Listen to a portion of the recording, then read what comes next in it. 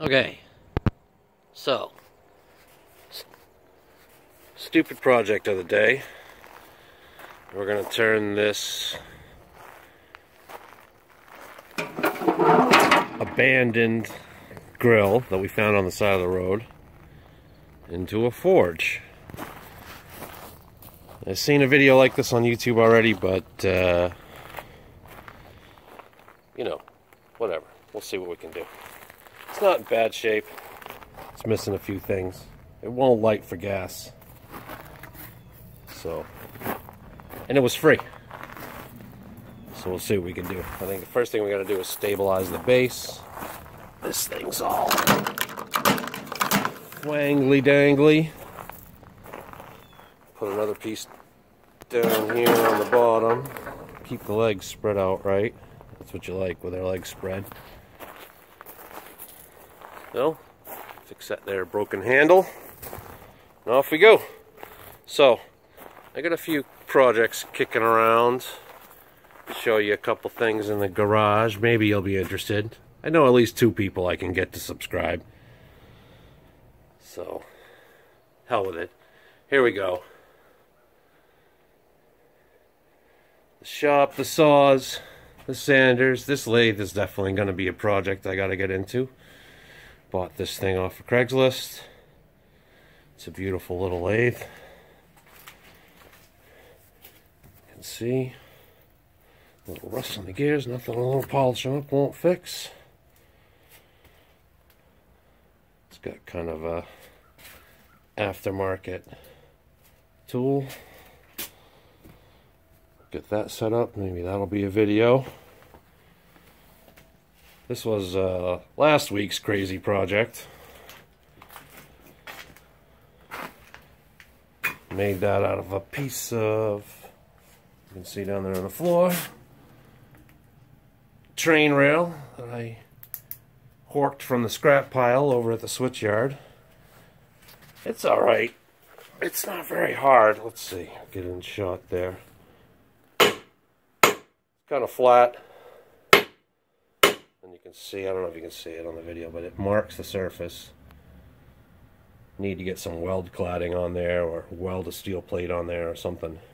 But it'll, it'll do to start. It's not too bad.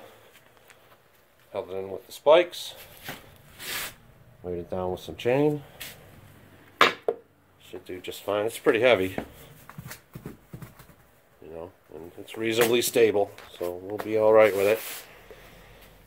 Another found dead on the side of the road, air compressor.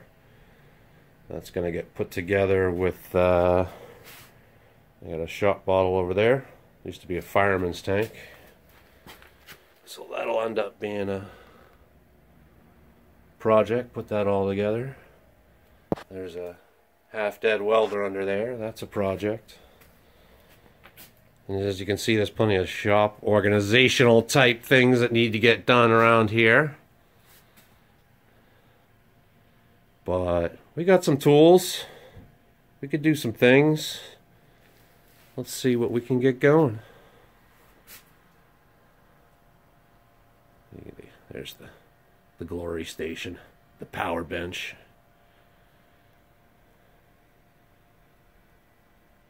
Five Makita tools that you have to buy to get an extra battery. Ridiculous. So there we go.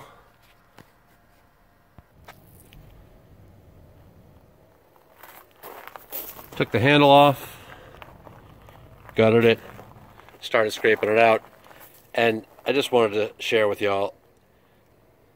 Free, came with it, it was inside it. It's absolutely perfect. I don't understand why people throw stuff away.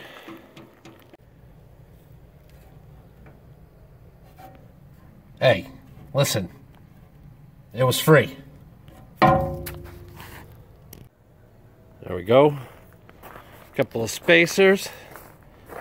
Keep those legs spread wide.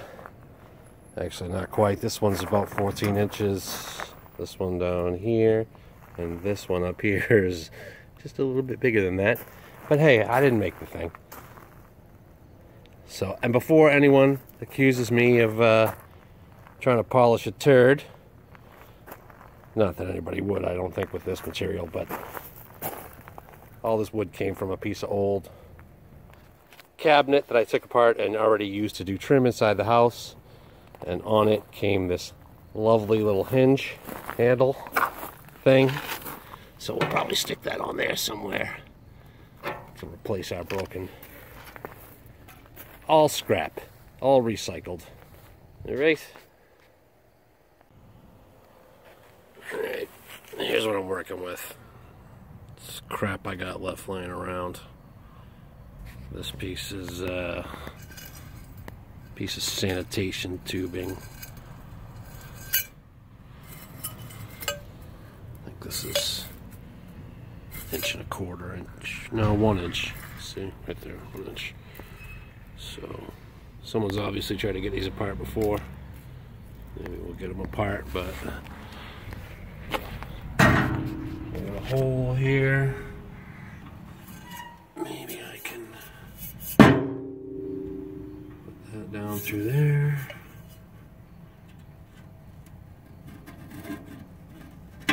Cement it in place. We can cement that together somehow. And that'll give me the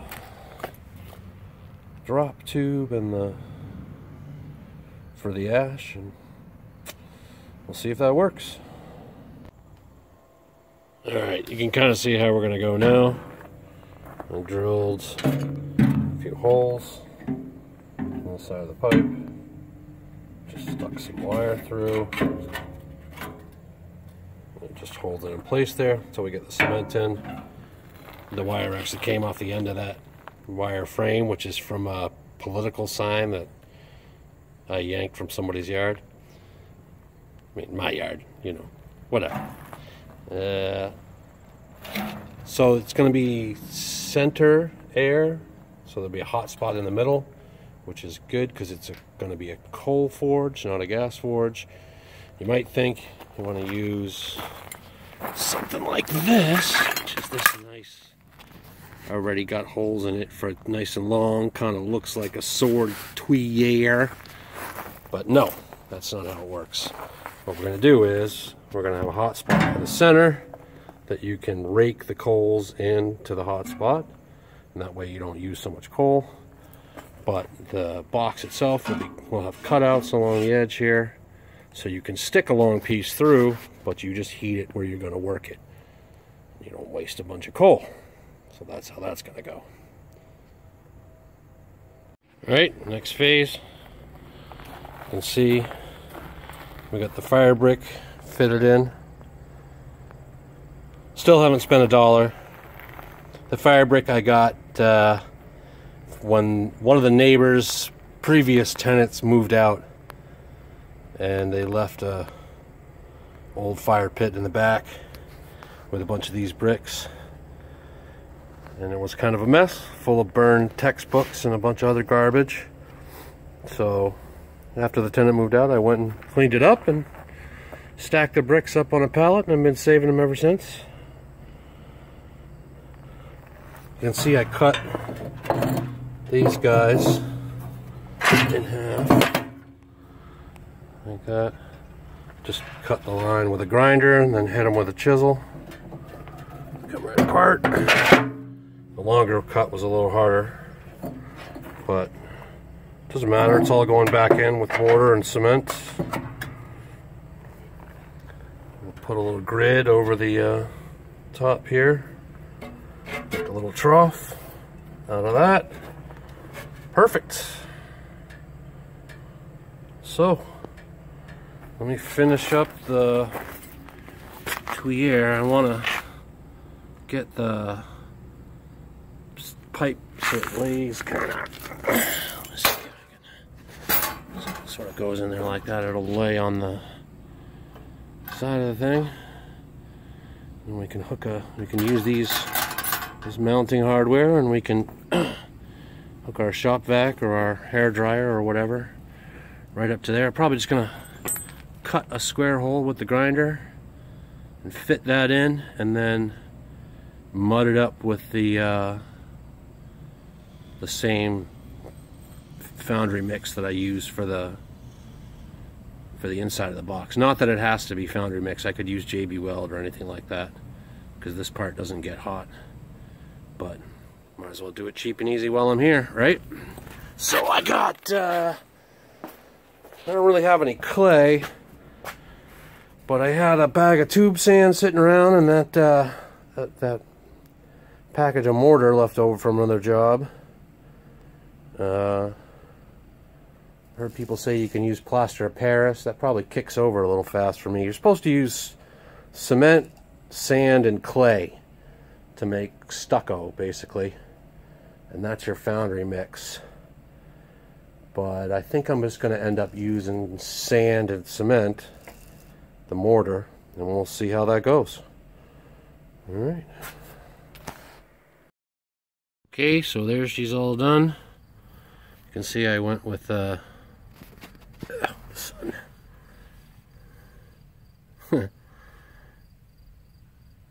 Just drilled a hole in the uh, side of the frame there, stuck her through.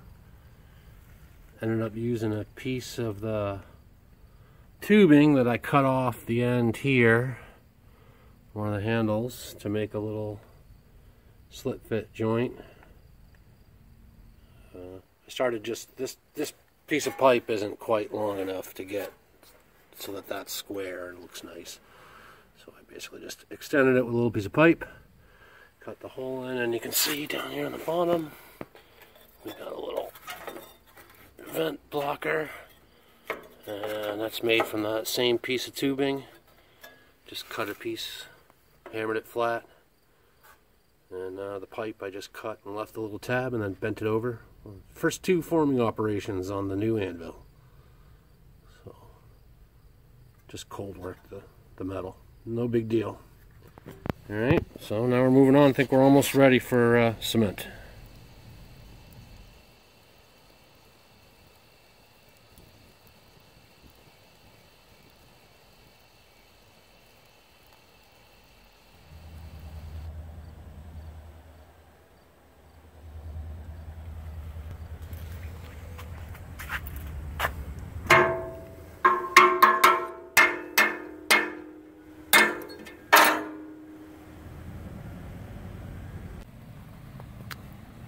All right, it's not the end of the world. We got this stuff. We'll uh, mix up some goo. We're gonna put it on that joint there and that giant. Should have known better than to try and go after cast aluminum with a uh, sawzall, but there you go.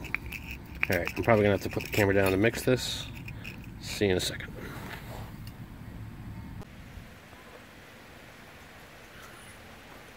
Alright, we got some of it spread on here.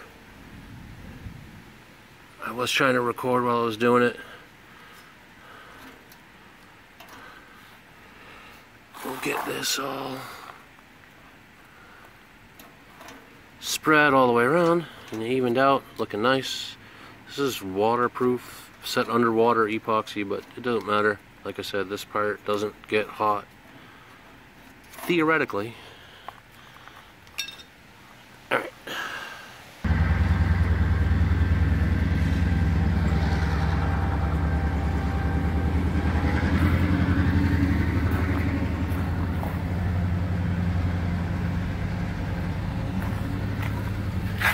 And on the pipe, we just added some tape over the epoxy, some paper tape. You're gonna see I like paper mache a lot. You'll see more of that. So we're back on track.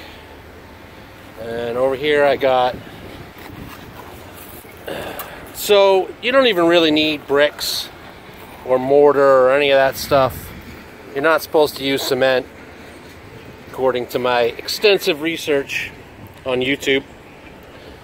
And uh, so what I got here is this is ash that I dug out of my fire pit and screened.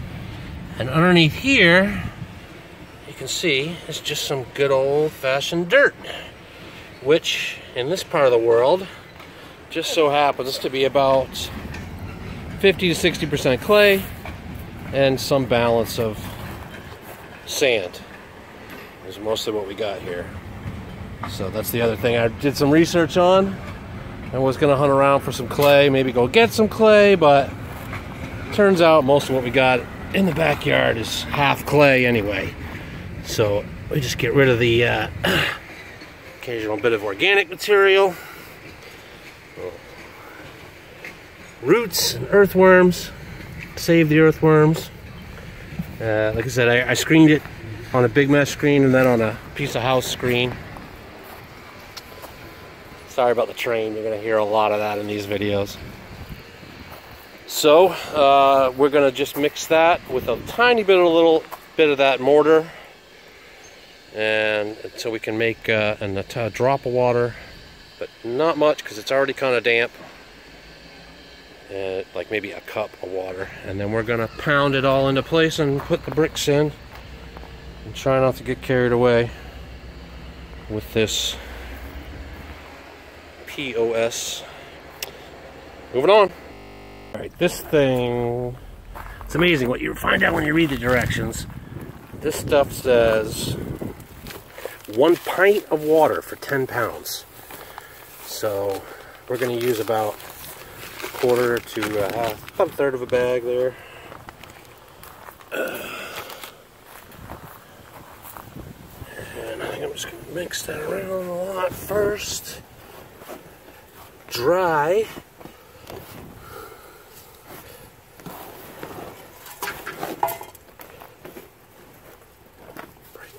Mortar chunks.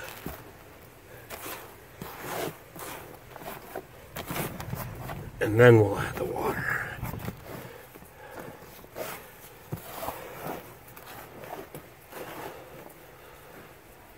Yeah, see, it's already. Do that again. Grab some.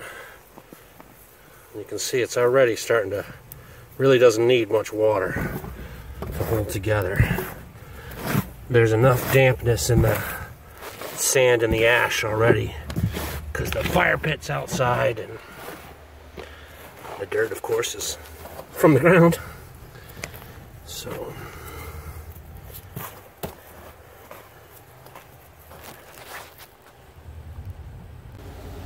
this is pretty decently mixed. So now we'll start with about half of this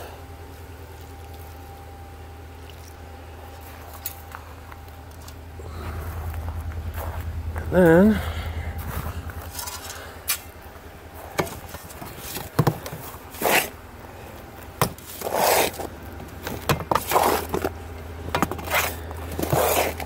mix it up good. Alright, I added one more cup of water. You can see kind of from the gloves, maybe you can see, yeah, you can kind of tell. It's damp, but not wet. And when you you squeeze it, makes a nice chunk. So we just keep breaking up the pieces, mixing it around.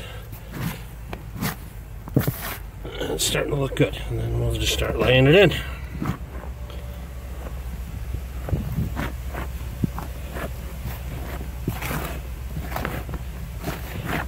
You know, in about four hours. Well, we're all out of mortar.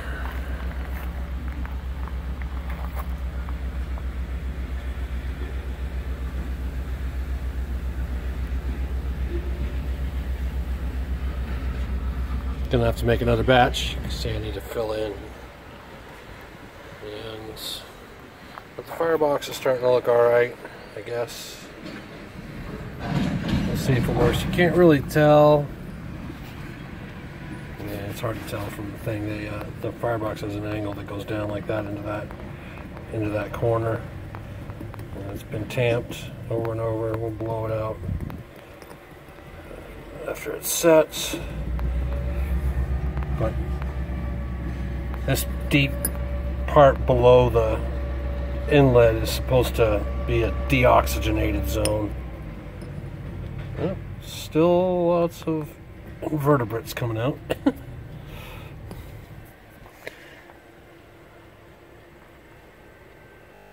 everything away for the night. It's supposed to rain tonight, maybe tomorrow. So I don't want everything to get wet. And I'll show you this. When I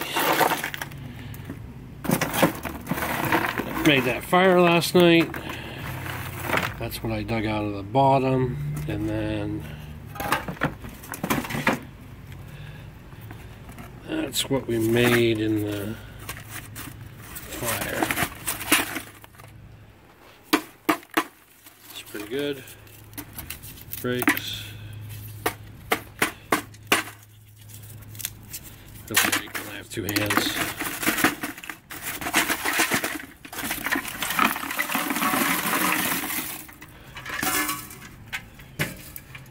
And it's just a paint can with some holes in the bottom of it. And you can see beautiful charcoal. And it's completely burned through. So, so it's about two days later.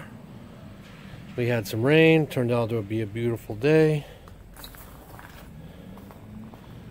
can see it's mostly not dried and things are not stuck together terribly well. We'll see how they go when they get heat. But I'm ready to add the next layer. So let's get on with it.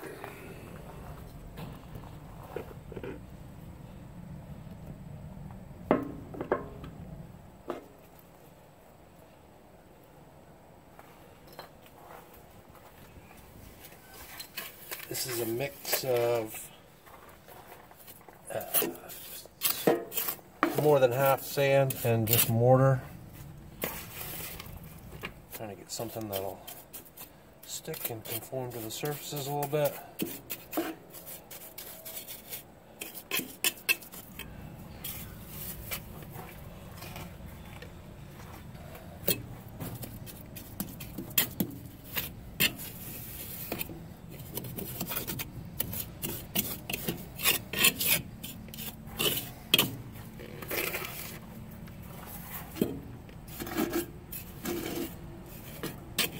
can see it's a little wetter than before.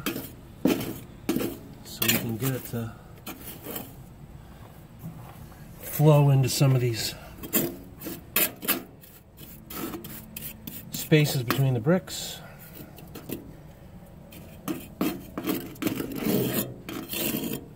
And I've actually used cement on forge projects before. So I know they say it can hold water pockets and potentially explode when you heat the forge, but in my experience, if you take your time heating it up, you let it cure good, and then once you put the fire in it, you don't start blasting right away. You can get along just fine with concrete. So I'm not worried. But I'd like to fill in all these spaces and get a nice smooth transition here. So.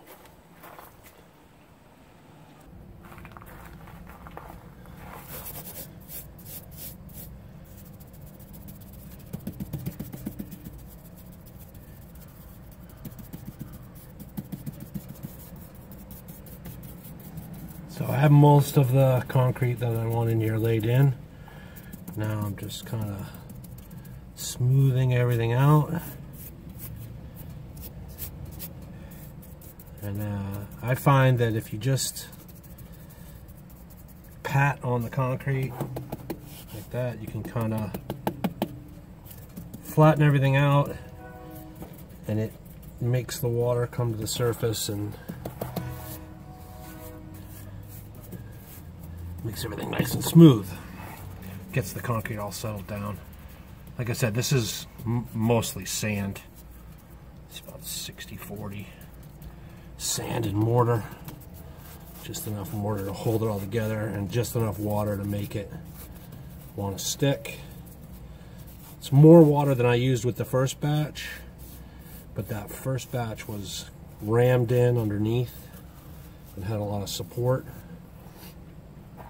This batch is more for the the sides and smoothing everything out, so I wanted something that I could shape a little better. So I used just a little bit more water than I did before. Hopefully you can see down in here, things are starting to get smoothed out, and there is that little dip. It's, it's about all my fingers deep there, and you can see here it's much shallower. So just clean the, whole, the uh, hole out here. And now the, uh, the crossbars here are nicely cemented in. I can just keep uh, adding a little reinforcement around the hole. That's probably the last little bit I have to do here.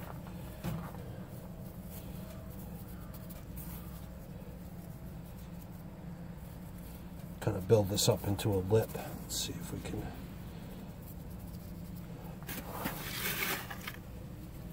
And look, the people have been making forges for thousands of years, and the first forges were hole, literally holes in the ground. You don't need to use a lot of fancy materials.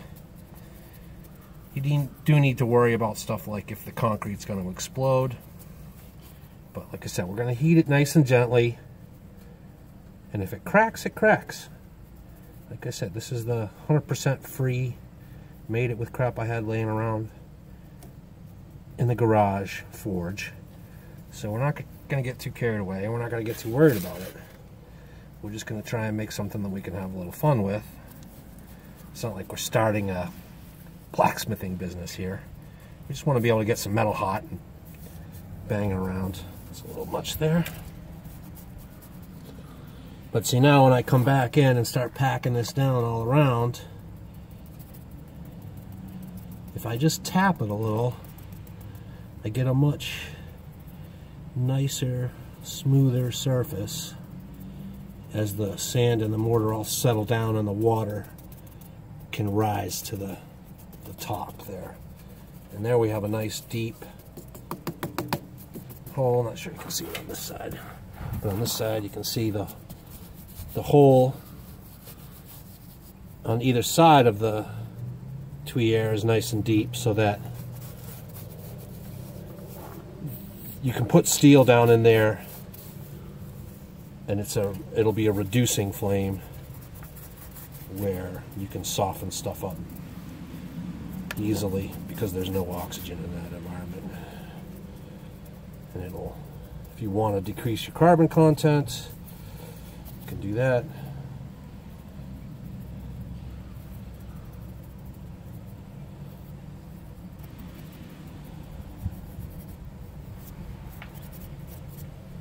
that's how you take cast iron and turn it into steel is you add carbon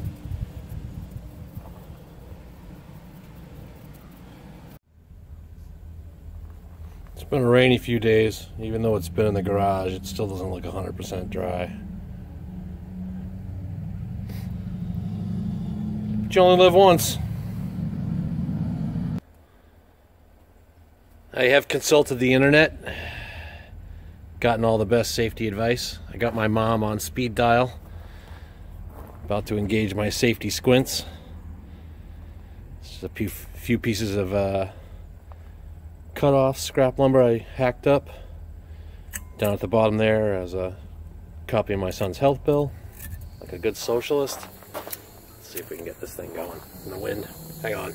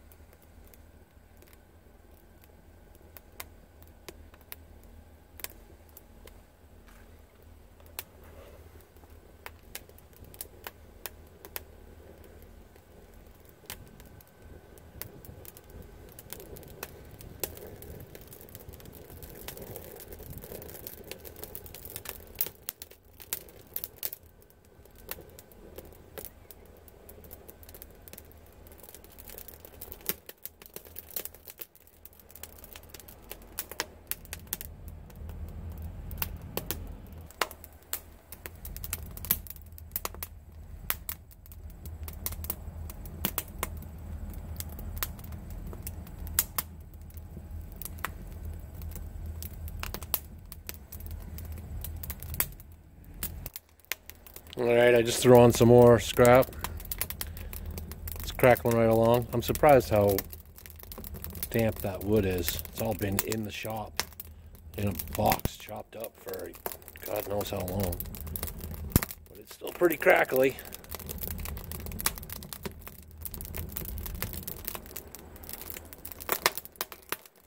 Forge is drawing nice from that uh, the bottom hole. No problem getting air.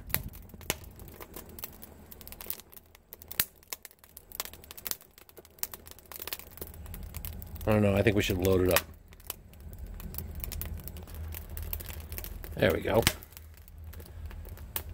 What could possibly go wrong?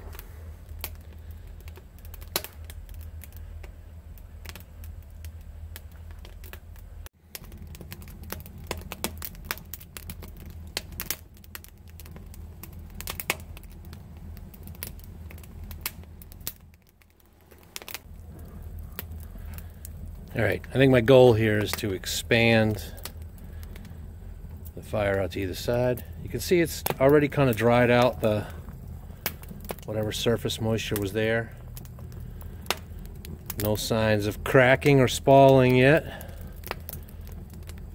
So I think I'm just going to keep adding wood until we got the whole thing full.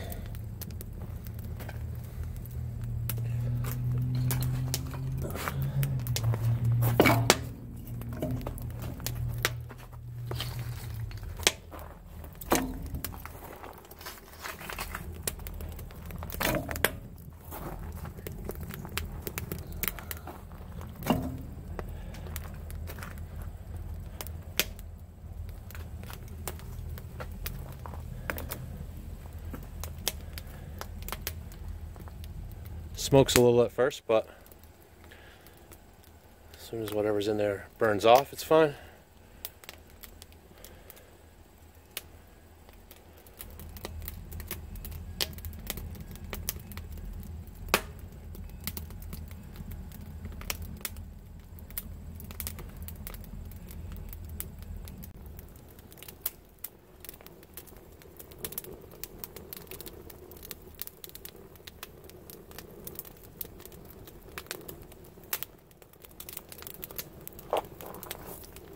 Little tiny crack starting right there between the brick and the mortar.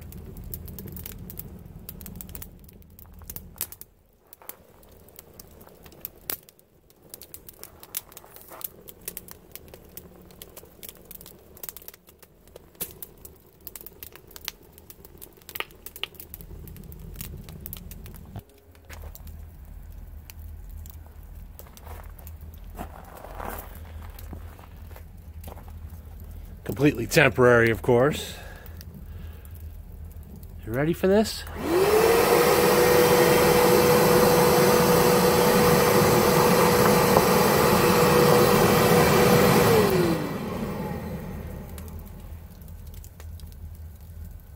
It's probably way too much air, even with the gate open.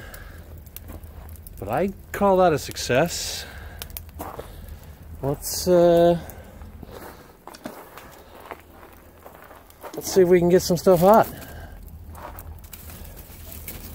Get that on the side there.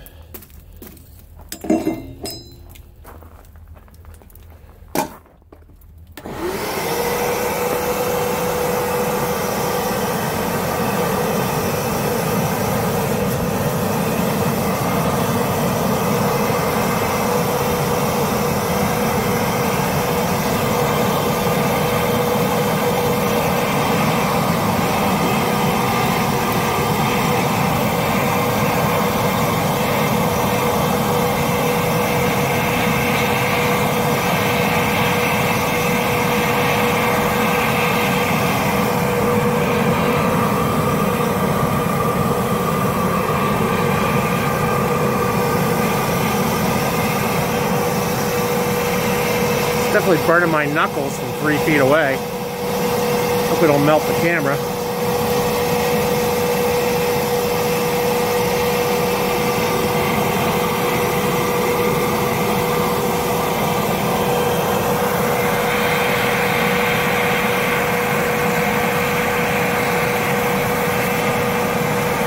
That's way too much air. Let's see what we can do about that.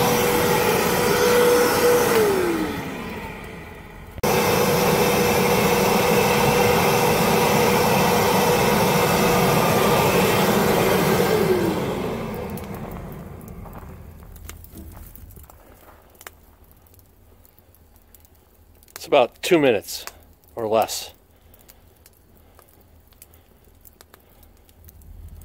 I'm gonna go ahead and call that a success. That's red hot steel.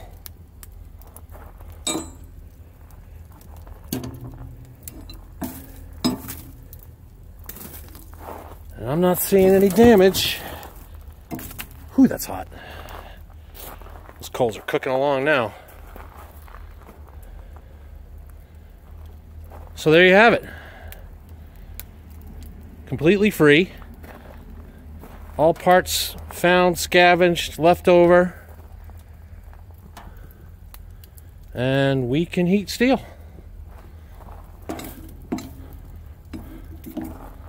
Cool. See you next time.